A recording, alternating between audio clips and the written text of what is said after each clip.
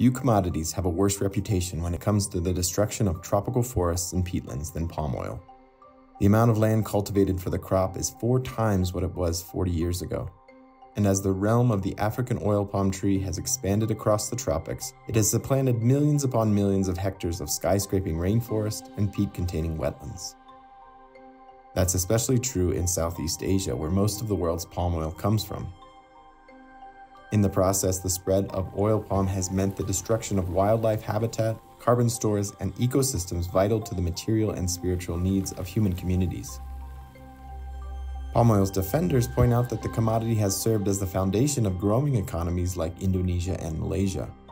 In those countries, millions of people work directly or indirectly with the industry, and the trees themselves churn out more oil, which is used in cosmetics, soap, and foodstuffs, on smaller areas of land than other sources of vegetable fat. On average, it's six and a half times more efficient than temperate grown crops such as soybeans, sunflower, and rapeseed. Industrial cultivation of oil palm is growing in places like Papua New Guinea and parts of Africa and Latin America. Today, conservation groups are calling for an approach in these places that pays attention to the lessons learned from Southeast Asia.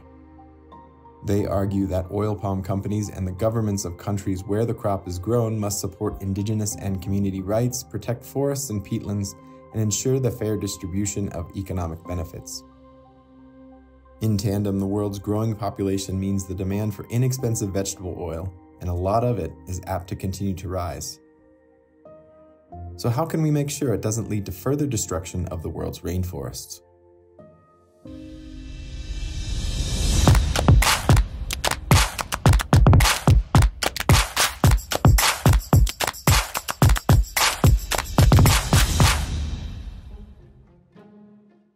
Most visible reaction to the forest destruction caused by the palm oil industry has been the formation of the Roundtable on Sustainable Palm Oil.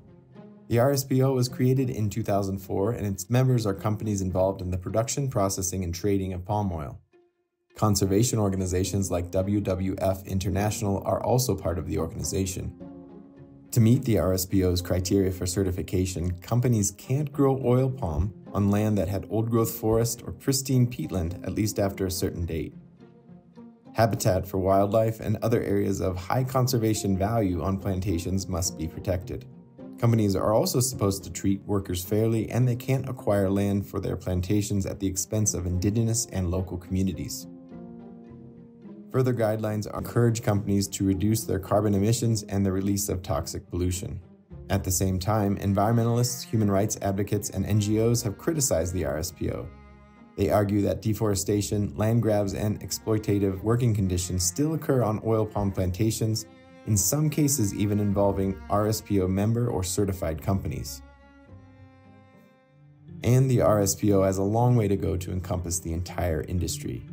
Currently, only about 19% of the world's palm oil is certified by the RSPO, and just 3.6 million of the 20 million hectares or 8.9 million of the 49 million acres under cultivation meets the group's sustainability standards. Investigations have also revealed that corruption continues to plague the palm oil industry, with companies bribing officials to turn a blind eye to deforestation or the sidelining of local and indigenous communities in the pursuit of profits. Still, proponents of the RSPO say it has provided a forum for corporations and advocacy groups to reconcile competing priorities and move the industry towards sustainability, however slowly. Deforestation for new oil palm cultivation has fallen recently in Indonesia and Malaysia, the world's two largest producers, even as prices for palm oil continue to rise. How a combination of factors might have played a role isn't clear.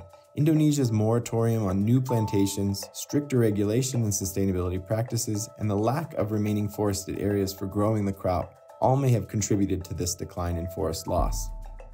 A more recent trend in sustainability has been the push for jurisdictional certification. These programs vary, but in some cases, the goal is to meet or even exceed the standards set by the RSPO. In one example, the state of Sabah in Malaysian Borneo, which alone produces 7% of the world's palm oil, has set out to overhaul the industry's impacts. Along with ending deforestation for oil palm plantations, the certification standard calls for phasing out plantations in areas that aren't optimal for growing oil palm trees. along marshy riverbanks, for example, where it threatens water quality and cuts off critical wildlife corridors. Leaving the most productive plantations in service provides a pathway to still meet demand and maintain this linchpin of Sabah's economy. That leaves the less than ideal spots as prime targets for the restoration of natural forest.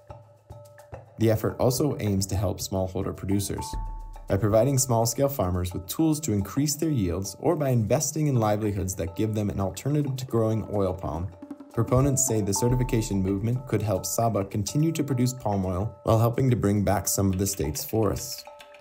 Even with far reaching international programs, the final say in the sustainability of palm oil production may lie with us as consumers. Voluntary certification schemes like those set out by the RSPO may slow deforestation or improve worker conditions. But the money we spend on the products we use every day may have the loudest voice in the end.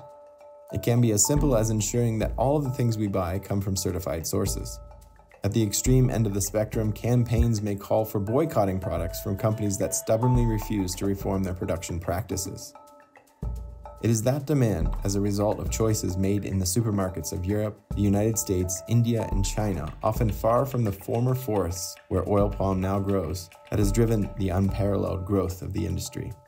Today, demand that insists that palm oil containing items are not produced at the expense of forests or community land or unfair labor practices could once again shape the market landscape, this time for the better.